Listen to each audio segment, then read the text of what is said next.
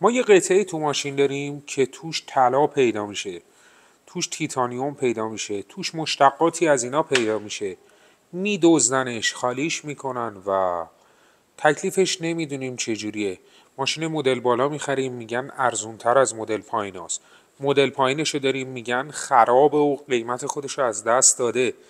تو انگلیس می‌بینیم که یه دونه فرز ور میدارن و شبونه از در خونه ها میدوزدن توی کشور خودمون می‌بینیم که شاید از رو ماشین بازش کنن.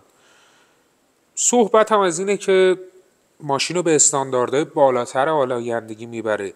اما این قطعه چیه؟ کارش چیه؟ و دقیقا در مورد چه قطعه صحبت می‌کنیم؟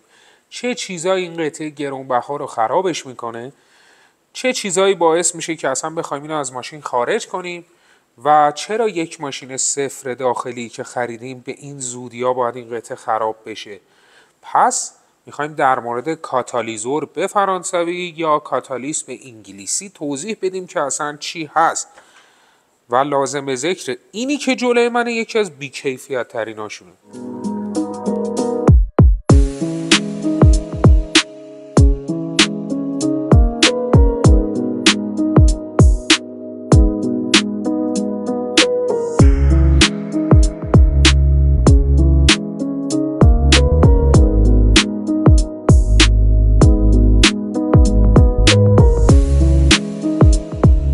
ارتقای استانداردهای آلایندگی توی خودروها اتفاق خوبی می‌شد گفت انجام شد.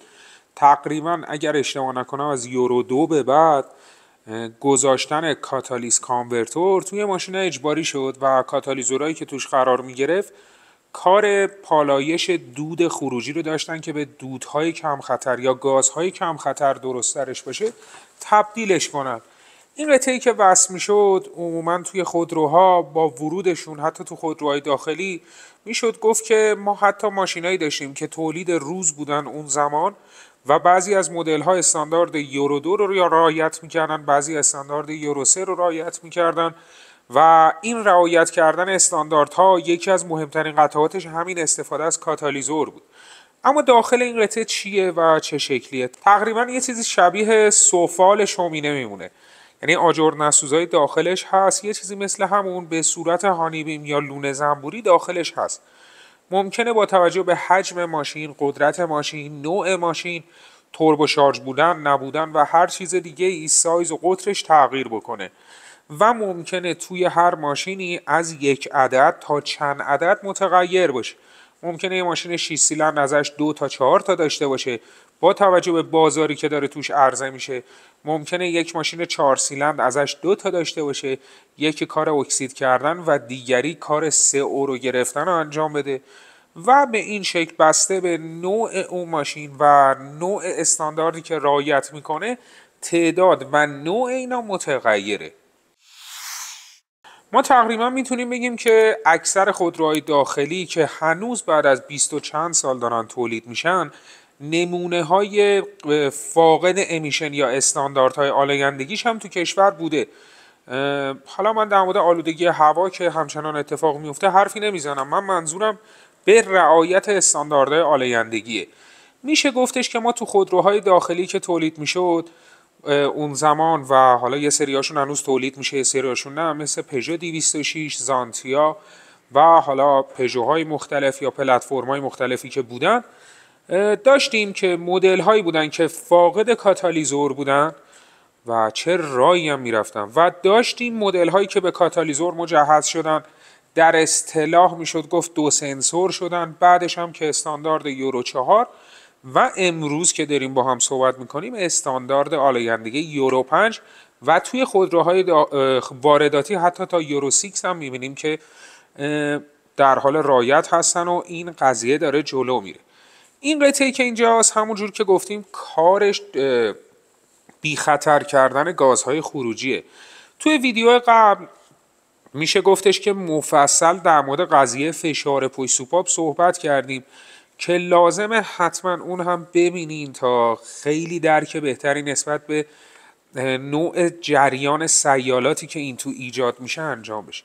اما توی این ویدیو بیشتر می‌خوایم در مورد علتهای خرابی و اینکه دقیقا با چی طرفیم؟ مخصوصا با بهونه ورود ماشین های یورو 6 به بازار بیشتر صحبت کنیم. استاندارد یورو 6 میشه حد اکثر تقریبا استانداردی که روی خودروهای بنزینی داره عرضه میشه تا این لحظه و تقریبا یه سری از خودروسازا دیگه نمی‌تونن پاسش کنن و حتی رو به هیبرید شدن میرن که بتونن استانداردهای سختگیرانه حالا اروپا و آمریکا هم پاس کنن. توی خودروهای چینی که داره وارد میشه ما داریم استاندارد یورو 6 plus هم می‌بینیم. از فوتون G7 گرفته تا تیگو eight Pro Max که علاوه بر قطعه کاتالیزور اول قطعه دیگه ای هم به اسم GPF دارن. حالا دوستان اهل فن واژه‌ای مثل DPF هم به گوششون خورده که مخصوص خودروهای دیزله. GPF دیگه آخرین ذرات رو می‌گیره و تقریبا میشه گفت پاس کردن استاندارد یورو 6 لازمش وجود این قطعه است که میشه گفت حتی از کاتالیزور اولم گرونتره. پس یه شناختی بهش داریم و می‌دونیم این قطعه برای چی نصب میشه و تا کجا داره پیش میره.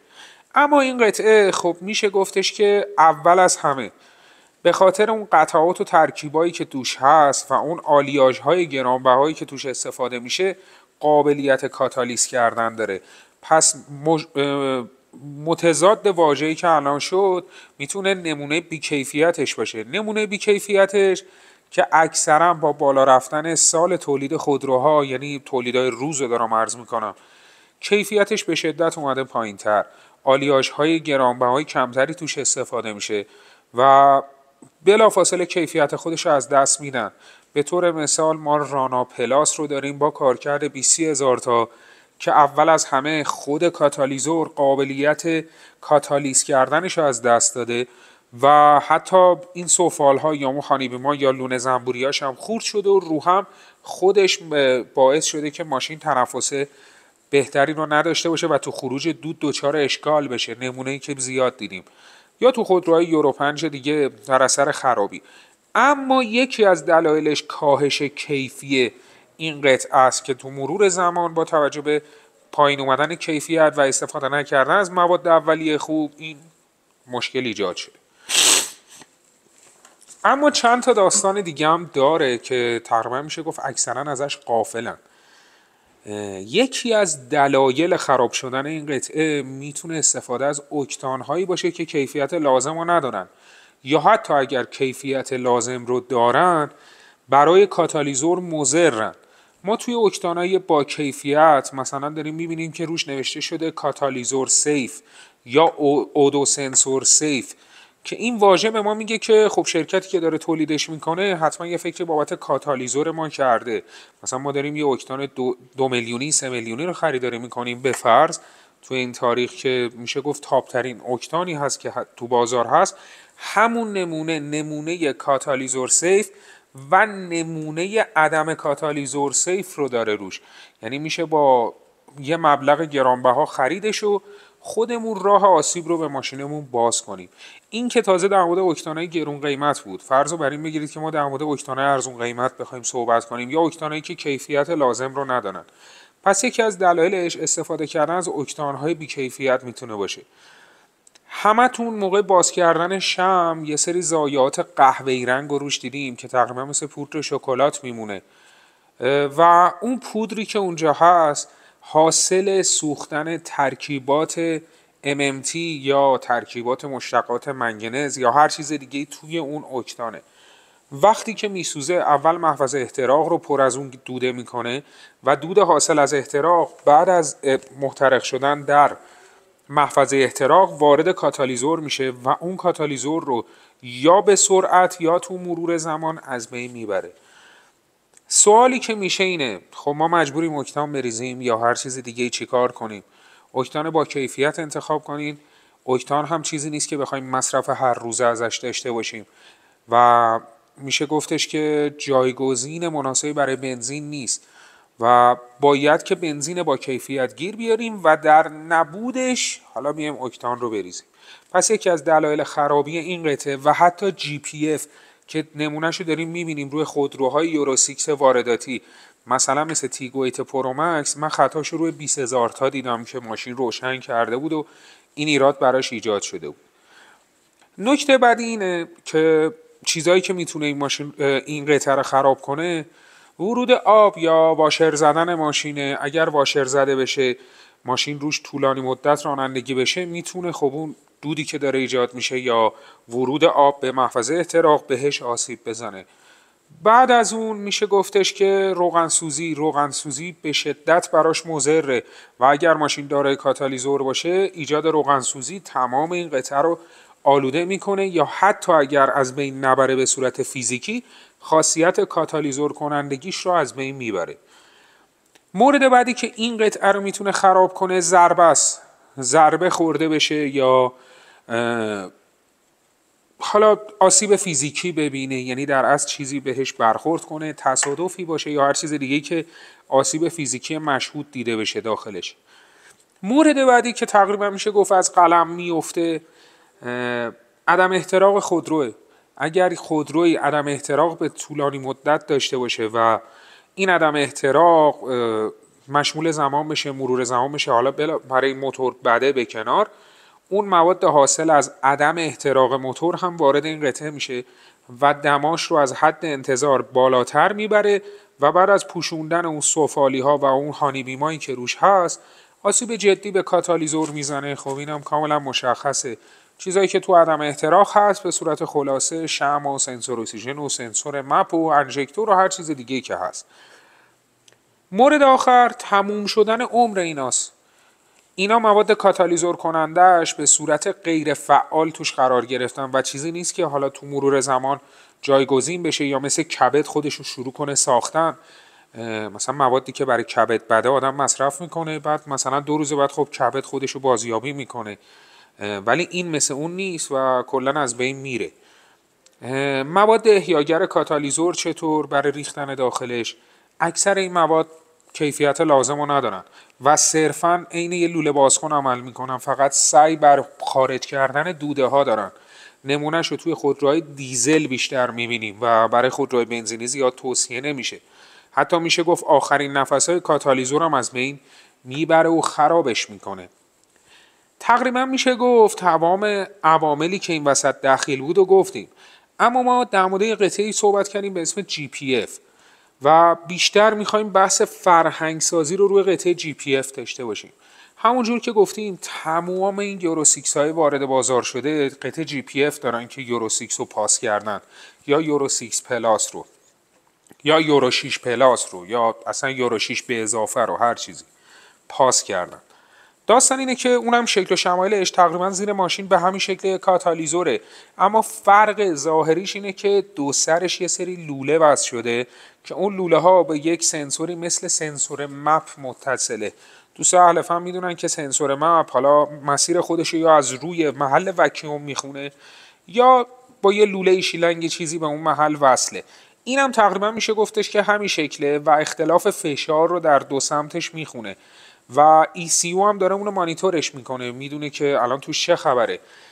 مثل سنسور دوم خودرو سنسوری که حالا همه اکثرا می‌شناسن و تقریبا میشه گفت تمام ماشین ایرانی های صفر هم حتی موقع خریداری شده موقع خریداری کردن بعد از یه مدت راه رفتن همش خطای سنسور روشن می‌کنن و خطای آلایندگی روشن می‌کنن که یکی از دلایلش احتراق ناقص و نبود سوخت با کیفیت و نبود کیفیت لازم برای کاتالیزور هاست حالا سوال اینه که ما این قطعه رو خالیش بکنیم بذاریم. ما توی اون ویدیویی که در مورد فشار پشت صبح بود خیلی در موردش صحبت کردیم. اما خیلی خلاصه میشه گفتش که خالی کردنش توصیه نمیشه. پر کردنش هم به اون شکلی که داره انجام میشه توصیه نمیشه. پر کردنش قراره که با یه سری موادی انجام بشه حالا به اسم مونولیت یا هر چیز دیگه ای که اون پر کردنه هیچ موقع کیفیت اصلی رو نداره. اما سوال اینه خب نیستش تو بازار من چانگان دارم و مثلا کاتالیزور اصلیش نیست من زانتیا دارم مثلا کاتالیزورش پیدا نمیشه.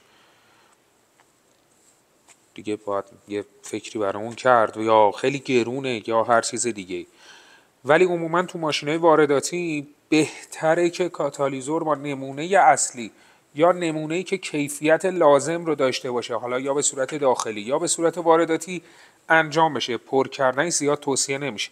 خالی کردنش باعث میشه که یه توربولانسی توی این قسمت حجیم اتفاق بیفته که کاتالیزورها عموما همین قسمت حجیم رو دارن. حالا یا به صورت مستطیل شکل یا به صورت مخروطی شکل یا حالا به صورت لوله شکل اینو دارن که اون خاصیت turbulence کردن برای موتور خوب نیست. یه مقدارم در مورد خود کارکرد کاتالیزور توضیح بدیم و ادامه این بحث رو موکول کنیم به ویدیو تخصصی که دوباره می‌خوایم در مورد این قضیه صحبت کنیم. داستان از این قراره. ما توی ماشین قدیمی تر یورو دو یورو سه و حتی یورو چهارها می‌دیدیم که کاتالیزور رو تقریبا دور نصب می‌کردن مثلا پژوهای سابق می‌دیدیم که کاتالیزور زیر ماشین قرار گرفته. اصلا دور نسبت به منیفولد دود خروجی.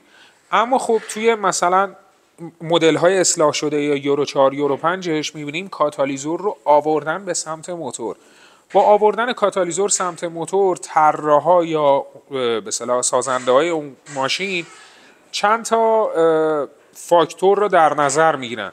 یکی این که میشه گفت برای اینکه دمای کاتالیزور سریعتر به دمای بهینه کار کردی برسه پس یکی از چیزهایی که نزدیک موتور میارنش اینه که سریعتر به, به دمای بهینه کارکردی برسه و این دمای بهینه کارکردی باعث میشه که ماشین سریعتر شروع به حالا پالایش کردن آلایندگی ها انجام بده. مورد بعدی که داریم می‌بینیم خب کاتالیزورها از نظر شکل هم توی زمان تغییر کردن و این تغییر خیلی محسوس بوده. حجمشون کوچیکتر شده و مواد فعال داخلشون هم از نظر فعالیت به صلاح تو گرید بالاتری قرار گرفتن اگه بخوایم خیلی خلاصه بگیم. یه مورد هم در مورد سنسور دوم بگیم و کارهای سنسور دوم بگیم و در مورد حذف سنسور دوم که فکر می‌کنم مهمترین بخش این ویدیو هم می‌تونه همون باشه. سنسور دوم اول در مورد سنسورهای اکسیژن توضیح بدیم. ما عموما توی 99 درصد از خودروها از دو مدل سنسور استفاده میشه. حالا از دو سنسور بودن به کنار از دو مدل سنسور استفاده میشه. سنسورهایی که قبل از سلام مواد کاتالیزور کننده قرار می‌گیرن و سنسورهایی که بعد از مواد کاتالیزور کننده قرار می‌گیرن.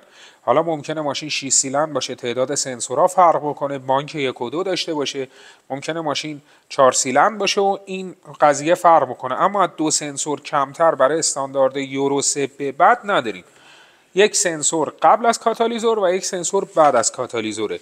سنسور بعد از کاتالیزور رو در اصطلاح بهش میگن سنسور دوم یا سنسور دود حالا اسمای مختلفی که براش می‌ذارن. و این سنسور می‌بینیم که اصل حاشیه ها تو مرسوم ترین نوع روشن کردن چراغ چک رو انجام میده. چراغ چکی که هر جا میرید میگن که به خاطر بنزین روشن شده چراغ چکی که توی صحبت از این اکتان بریزی درست میشه.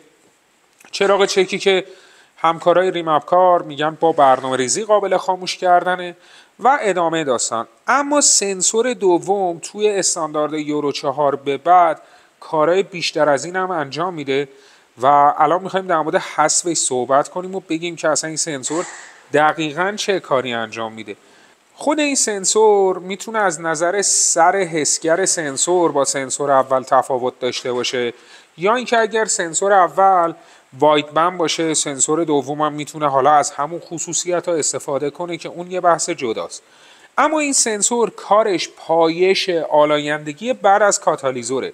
و به چند طریق می‌تونه خطای آلایندگی رو تو سیستم بده. که حالا خود خطای آلایندگی خودش چند مدل داره؟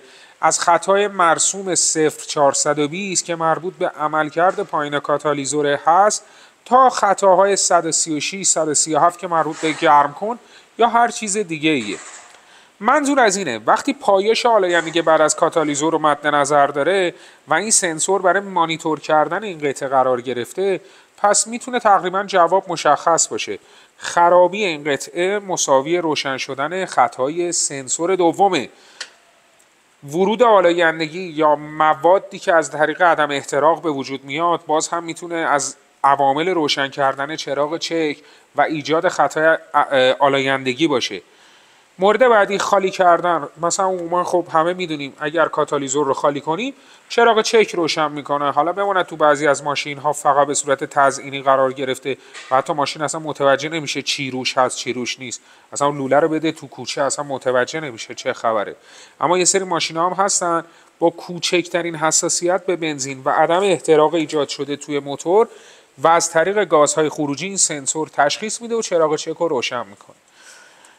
آیا این سنسور رو میشه حذف کرد؟ بله. تقریبا میشه گفتش که در اغلب خودروها چرا میگم اغلب؟ الان می‌خوام بازش کنم. قابل حذف و میشه اونو حذفش کرد و مشکل خاصی هم ندید.